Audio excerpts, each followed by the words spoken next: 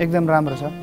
सिक्नु पहिला चाहिँ घोकेर पढ्ने थियो भने चाहिँ अहिले एकदम सिम्पली छ एकदम नर्मल। कोडहरू अनि त्यस पछाडि के भन्छ नम्बरहरू अनि के भन्छ क्यालेन्डरहरू त्योहरू चाहिँ एकदम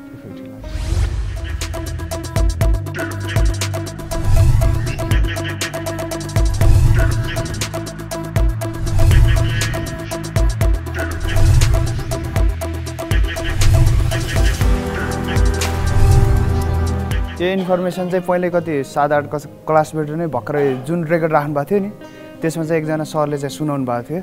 अनि त्योबाट अनि फेरि पछाडि पनि एक दुई वर्ष पछाडि उहाँ सेमिनार हो कि के दिनु जानुभएको थियो क्या।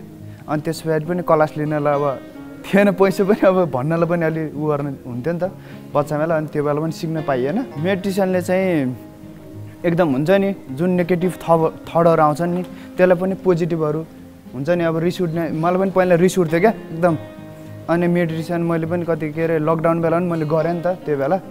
अनि त्यसमा पनि एकदम उ भयो।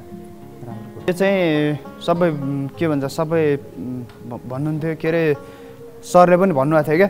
यो सरकारले चान्स दियो भनेपछि शिक्षा नै प्रणाली चेन्ज गर्छु भन्नुभएको थियो। तर सरकारले चान्स दियो भने चाहिँ गर्न सकिन्छ जस्तो लाग्छ मलाई चाहिँ। सबै आउनु पऱ्यो होइन? सिक्नलाई चाहिँ राम्रो छ।